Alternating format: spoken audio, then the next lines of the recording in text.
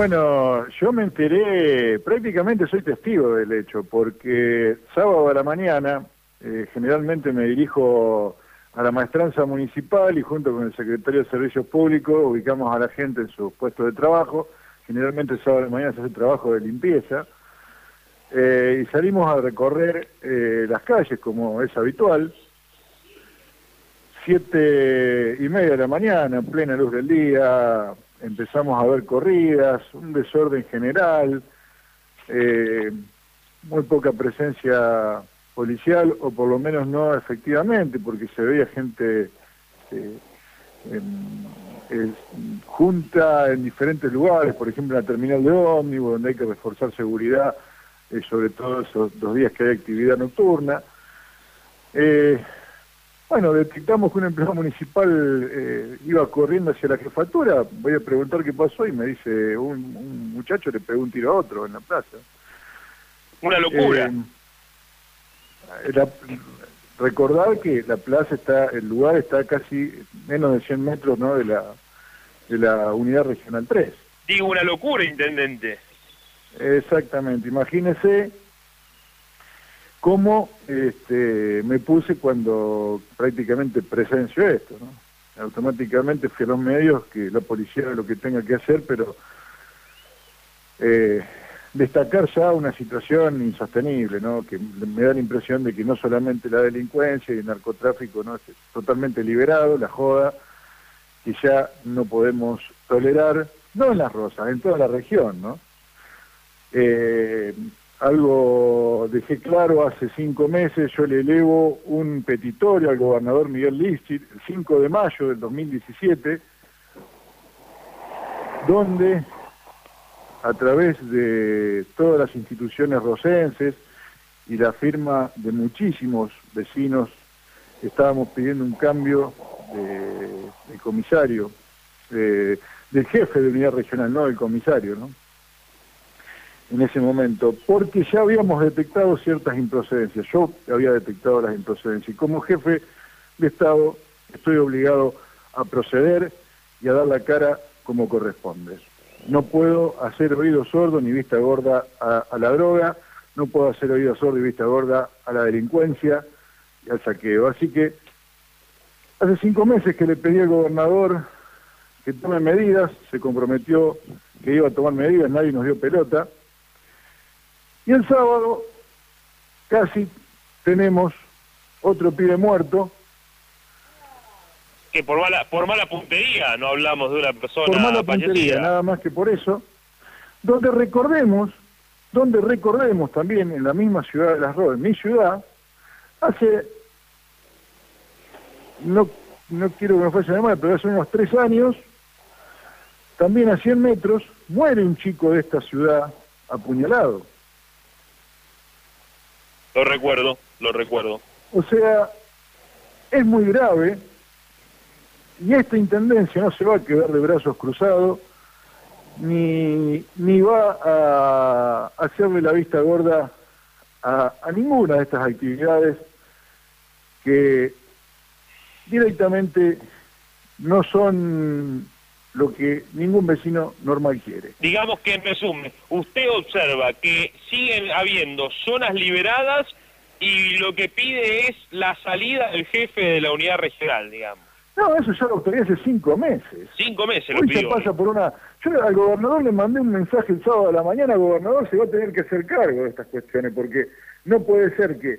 A ver, ¿Quién es el que hoy tiene que velar por, por el vecino? El jefe de defensa civil. El jefe de defensa civil natural de cada ciudad es el intendente. Y si yo veo, yo no voy a ser de policía, no están mis facultades, pero sí tengo que operar sobre las instituciones que no me están este, prestando el servicio que corresponde. Acá en toda la zona seguimos hablando de que la droga, de que la droga, pero a ver, razonemos un poquito. ¿La droga es de venta libre? No. Bien, perfecto. Es un delito federal, ¿no? Claro. Perfecto. ¿Quién tendría que denunciar y operar y pasar la información y traer inclusive a la Policía Federal para que proceda? ¿Nosotros? ¿Los intendentes? No, no, la policía. la policía, porque acá no nos lavemos la mano con que es un delito federal, o que la fiscal no me deja, porque todos sabemos muy bien, todos los nichos, porque la denuncia es periódica, es diaria. La gente viene a la municipalidad a hacer la denuncia, a quejarse de que mi, hijo me está robando todo porque está consumiendo droga, y vende fulano, y vende mengano, y vende sultano. Y no hay ninguna respuesta.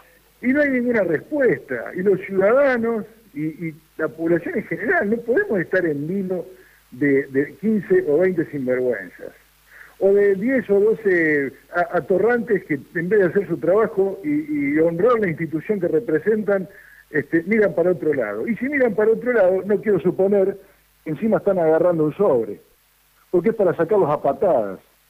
Pero no para que lo saque a patadas el ministro, porque lo saque a patadas cualquier ciudadano común. ¿eh?